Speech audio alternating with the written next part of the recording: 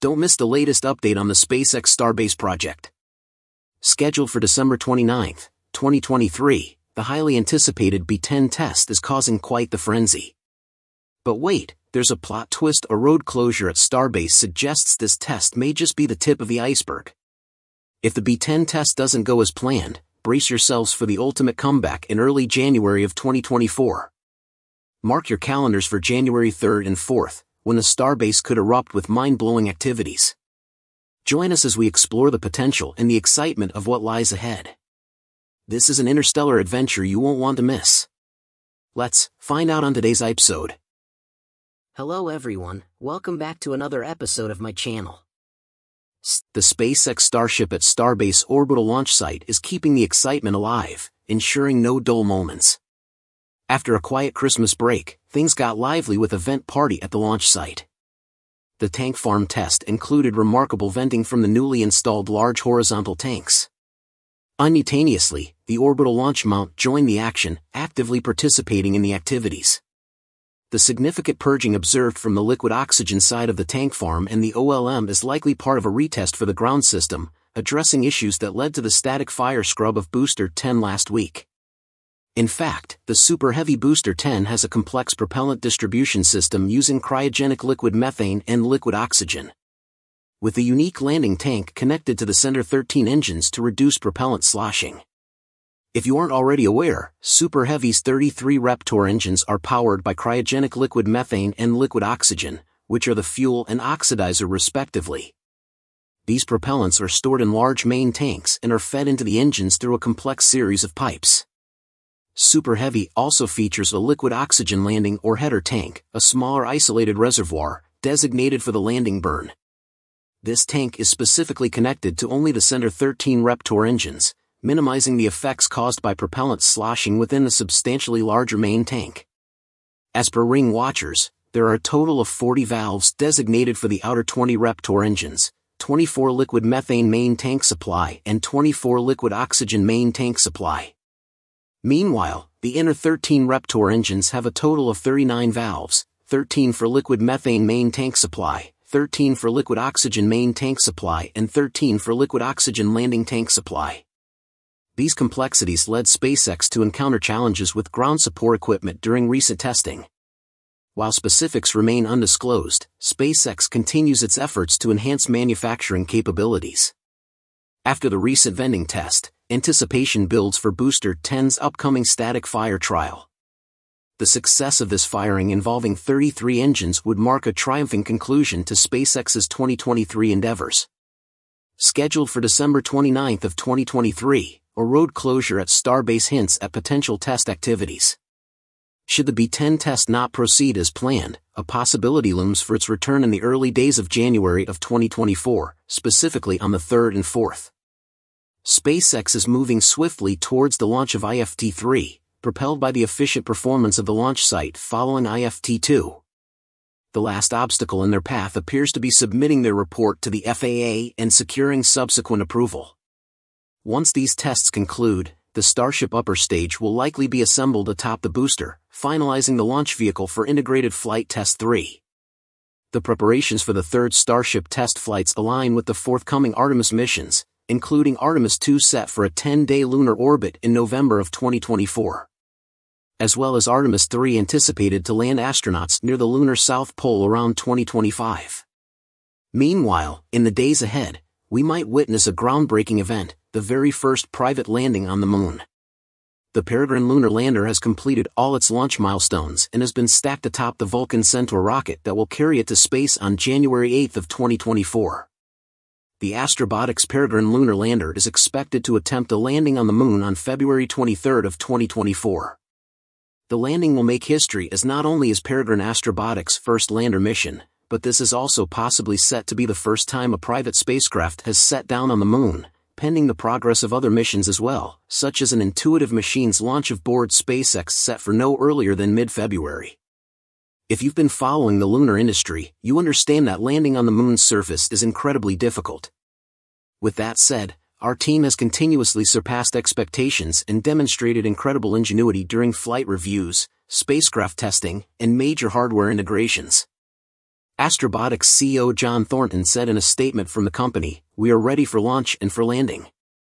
President of ULA Tory Bruno celebrated the final steps toward the launch of the private lunar lander with a stunning time-lapse video shared on his X feed on December 22. Now, that's what I call a tree topper. Time-lapse of Peregrine lander being settled atop the Vulcan rocket. Next stop, the moon, he said. Though Peregrine has come through three weeks of important final checks and fueling needed to be achieved prior to launch, there's a whole new set of milestones for the spacecraft to clear after blast-off. These will begin shortly after launch when the lander will separate from its Vulcan rocket carrier and will power on, following which it will establish communication with ground control on Earth. This communication will flow through the NASA Deep Space Network system to the Astrobotics Mission Control Center in Pittsburgh, allowing Peregrine's operators to determine its position, orientation, and operating health. Following this in around 40 minutes after separation, ground control will begin sending commands to the lunar lander's propulsion system.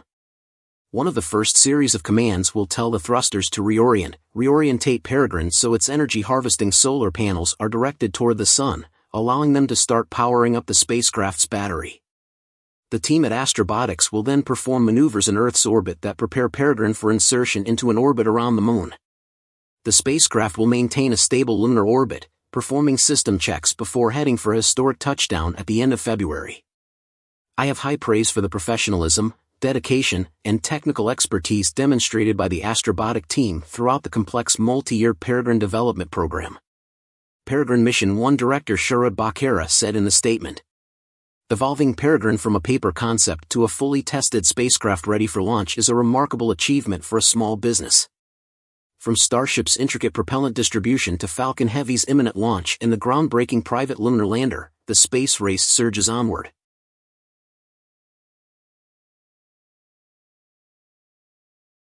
The first significant setback occurred in March 2006, when the Falcon 1 rocket failed to reach orbit. This failure was followed by others, including a Falcon 9 rocket carrying a Dragon spacecraft bound for the International Space Station, breaking apart midair in June 2015, and a Falcon Heavy rocket loss in June 2019. These failures were part of the learning curve that SpaceX had to undergo to refine its technology and approach. Musk acknowledged the difficult start, stating that the first three launches of the company were failures. The fourth launch, which was crucial for the survival of SpaceX, fortunately succeeded. This success marked a turning point for the company. The recent incident involving the loss of a SpaceX Falcon 9 booster at sea is indeed a significant event in the realm of space exploration. This booster, notable for its history of 19 successful missions, met an unfortunate end due to harsh sea conditions during its transport back to port following its latest mission. After its successful mission on December 23, where it carried 23 Starlink satellites into orbit, the Falcon 9 booster landed on the drone ship, Just Read the Instructions. This process involves a series of steps that begin immediately after landing. Once the booster touches down on the drone ship, the priority is to ensure its stability. The ship is equipped with mechanisms to secure the booster, preventing it from moving during transit back to port.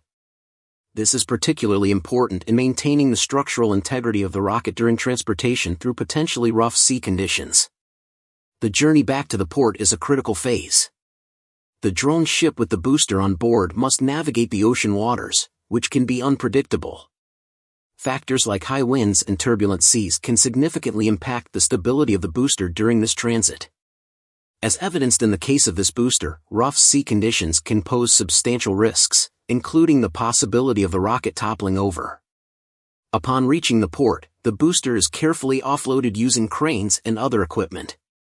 After offloading, the booster undergoes thorough inspections to assess its condition and determine the feasibility of its reuse. Engineers and technicians examine various components, including the engines and structural elements to ensure everything is functioning correctly and safely. While being transported back to port, it encountered high winds and waves, which caused it to topple over and break in half. This booster has been a notable figure in spaceflight history, especially for being the only booster adorned with NASA's logos. Despite the recent incident, SpaceX is focused on extracting valuable lessons and data from it. The company has acknowledged that newer Falcon boosters have been equipped with upgraded landing legs capable of self-leveling to prevent such incidents, a feature that was not present in this booster due to its age. Beyond these improvements, SpaceX has been exploring other advanced landing methods, including the development of a tower to catch rockets, a concept similar to the Mechazilla system designed for the Starship rocket. The Mechazilla, a part of SpaceX's Starship development program, is a tower equipped with mechanical arms designed to catch the Starship and its Super Heavy booster as they return to Earth. This method, if successful, would eliminate the need for landing legs entirely and could potentially allow for even quicker turnaround times for rocket reusability.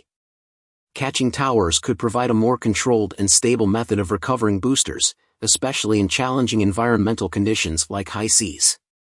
On its final mission, this Falcon booster, which was originally white and had the red NASA logo on it, appeared much darker, almost charcoal in color. This change in color was due to the soot and marks accumulated from its multiple trips to space and back.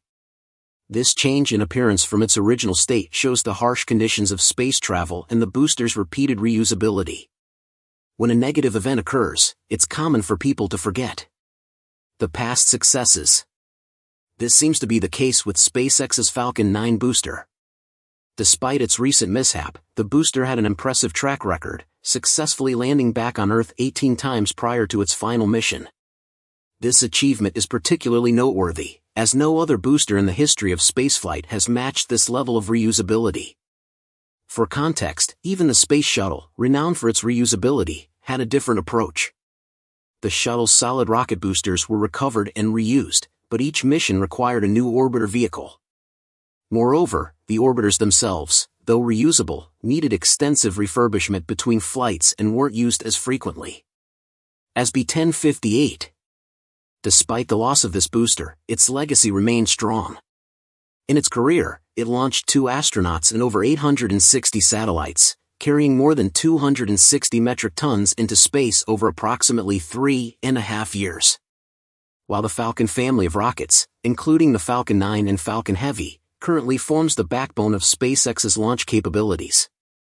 The company's attention is increasingly turning towards the Starship rocket. The Starship rocket is designed to be larger and more powerful than any rocket that has previously been launched. This increased size and power are crucial for SpaceX's plans, as the Starship is intended to carry out a wide range of missions, including sending large payloads to Earth orbit, the moon, and even Mars.